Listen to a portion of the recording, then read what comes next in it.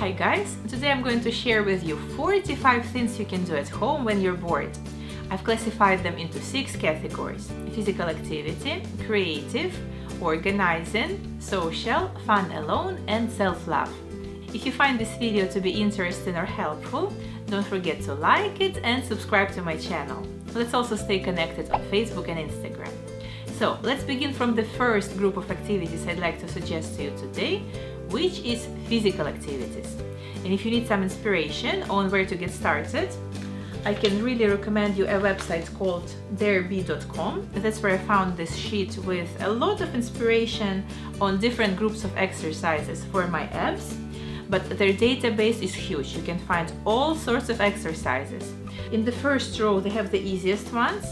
And as we move down, they become more and more difficult. So if you find and print a couple of sheets like this one for different muscle groups, you literally never run out of exercising ideas. I have to confess, I didn't go to gym for over a year, pretty much since I got pregnant. I just didn't feel I could physically do that. And finally, the time has come for me to go back on track. Unfortunately, our gym is closed at the moment, so I don't have access to the usual machines but I have access to my baby. She offers me almost 8 kilos of weight to lift, and for me, that's quite heavy.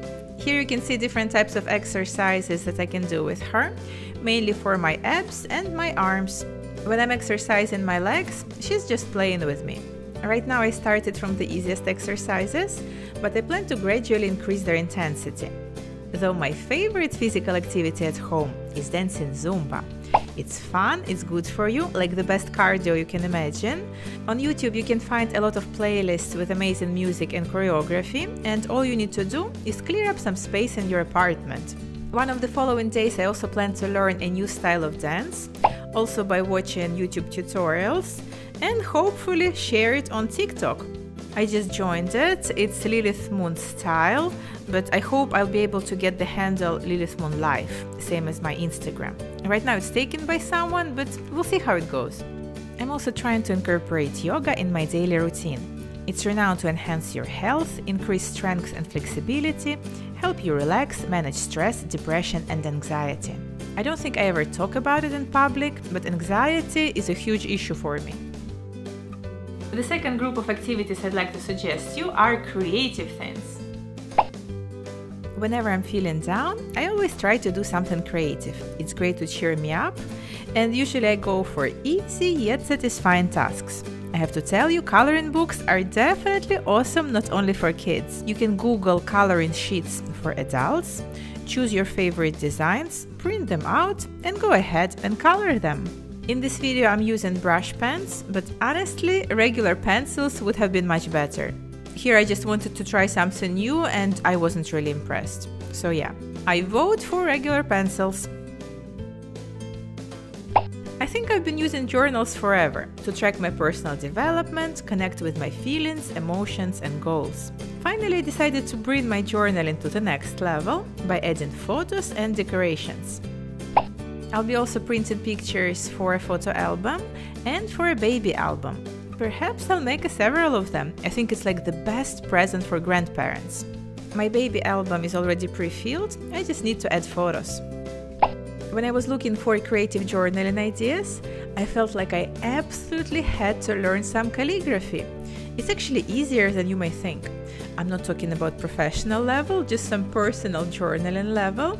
All you have to do is practice some basic strokes and then connect them into letters. Then you practice letters and connect them into words. On Google, you can find quite a few lettering practice worksheets for free. What you do need to get is a brush pen. I ordered mine on Amazon. If you follow me on Instagram, you know that my photos always match in color. I don't use any specific filters, just edit each picture separately in Lightroom.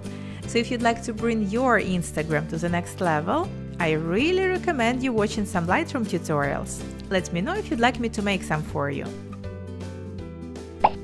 Playing with virtual makeup is really fun. You can see what you'd look like with different types of makeup and then try out your favorite looks in real life. You can test different shapes of eyebrows, eyeliner, eyelashes, apply different colors of lipsticks and shadows.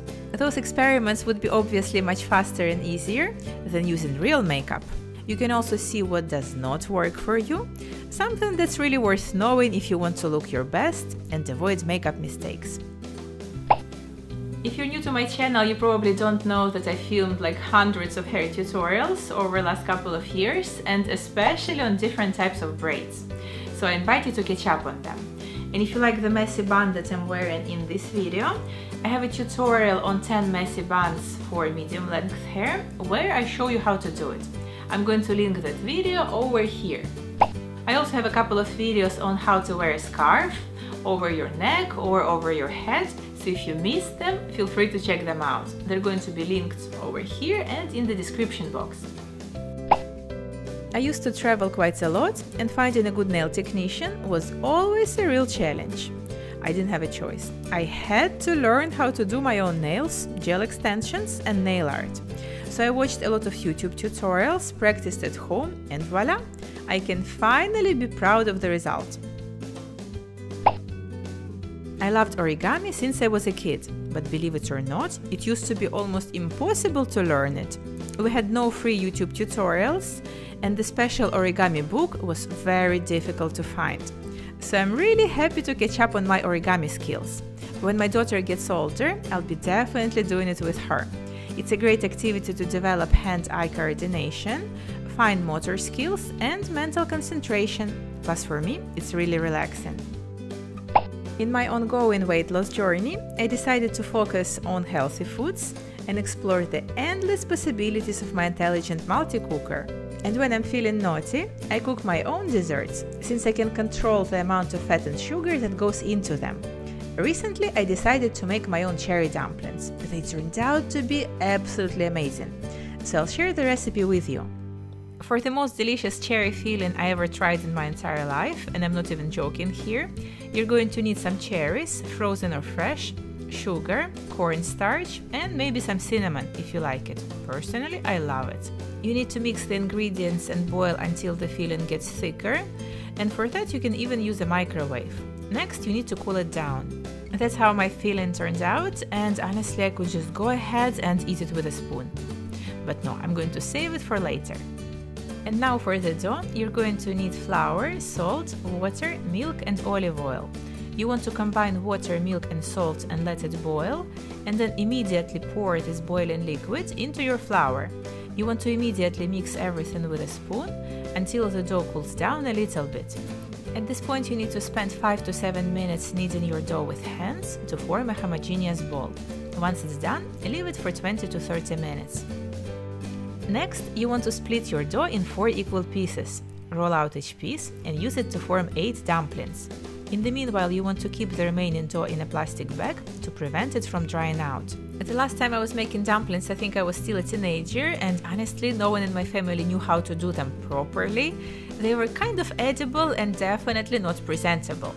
Finally, I could watch so many videos on YouTube on how to make them properly that I decided to pull up my stakes and actually attempt doing beautiful, presentable dumplings.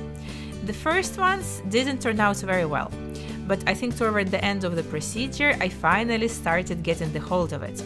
I won't be teaching you how to make decorative dumplings in this tutorial because I'm simply not qualified for that, but you can definitely find many tutorials on YouTube. So that's how my dumplings turned out. What do you think? The following group of activities I'd like to suggest to you today is everything related to organizing and cleaning. I know it doesn't sound very fun, but believe me, the results are really rewarding. With jewelry, it's one of the times where out of sight, out of mind is actually a bad thing. At some point, you totally forget that trendy statement ring or necklace.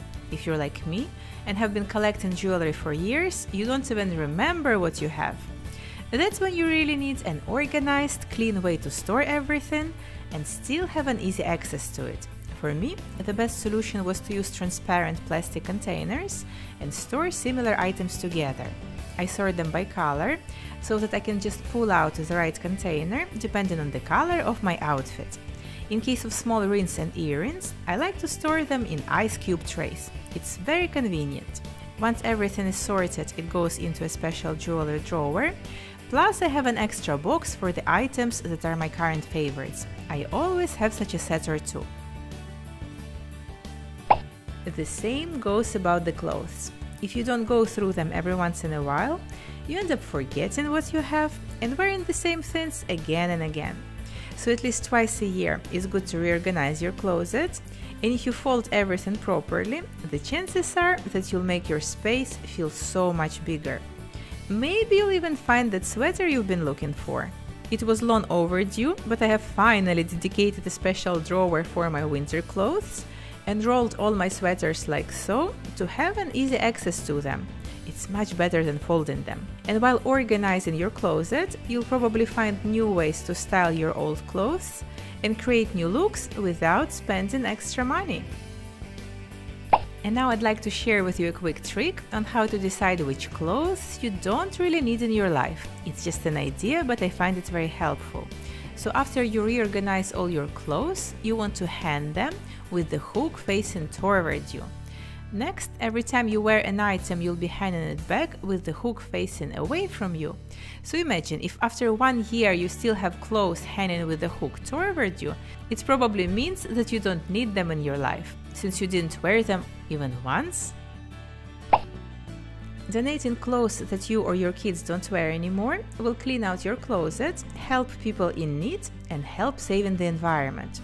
Did you know that making clothes takes hundreds of gallons of water, while disposing of the waste produces toxic gases?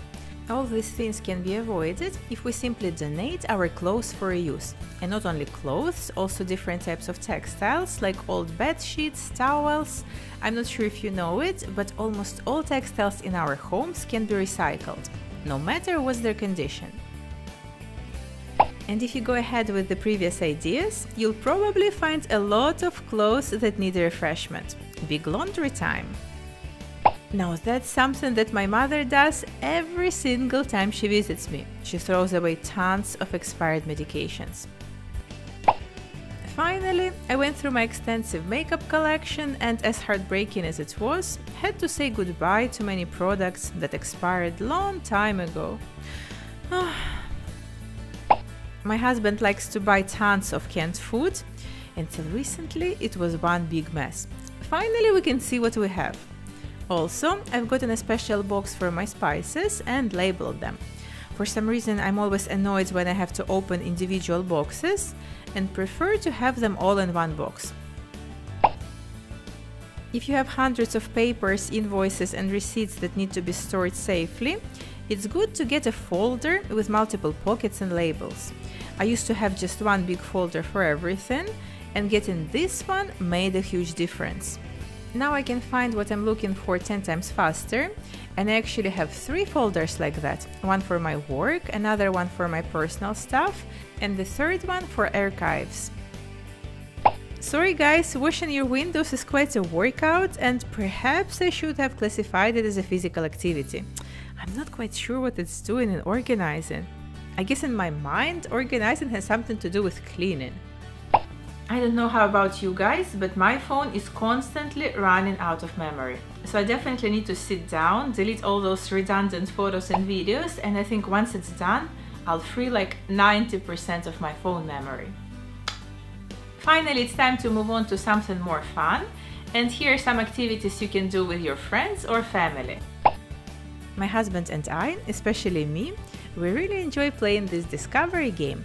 It's very similar to Monopoly, but for couples. It's like a date night in a box, designed to cultivate intimacy and connectedness. It's very exciting and unique. Question games is something I really enjoyed playing with groups of people during house parties. It's a perfect icebreaker if you don't know people really well. You just pull out different questions and everyone has to answer them. So it's a great way to get to know each other. Now I'm playing it with my husband. We got a special box with questions for couples, and it's a great way to trigger interesting conversations.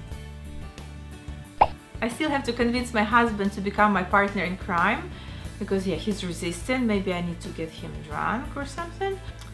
I don't know. I used to do it with my friend and it was like our favorite activity ever. And you know what's the best part of it? Is that we're both rubbish in karaoke, so that's hilarious. You know, nowadays it's very easy to find good karaoke songs because you can find them on YouTube. Just type the name of your favorite song with karaoke next to it and there you have it. Another fun thing you can try out at home if you're in the mood for something a little bit silly is putting on a soap opera, muting the sound and doing your own voiceover. You need just a couple of funny people and you're going to have a laugh of your lifetime. I tried it once with my friend and it was absolutely hilarious. Another thing I've been enjoying quite a lot recently is catching up with my long distance friends and family. Usually we have like a huge time difference, they work a lot, so it's really hard to get synchronized. But now that everyone is stuck at home because of this quarantine, finally we can all catch up. Hand letters have become so rare these days. I guess that's exactly what makes receiving them so special. And it doesn't even have to be a long letter, it can be a simple thank you note. And to make it even more unique, we can fold it into a heart using origami techniques that I've already mentioned earlier. By the way, my paper is a simple printer paper, totally white. I've just quickly painted it myself with watercolor. If we cannot go for a real picnic in the nature, we can still make one at home, or maybe at the balcony if it's big enough. Just bring a lot of finger food and have a feast. And now let's talk about some fun things that you can do at home alone. As long as I have my books on my Kindle with me, it's absolutely impossible for me to get bored. By the way, just this month, Paulo Coelho is giving away his books for free. I've been doing so much online shopping recently.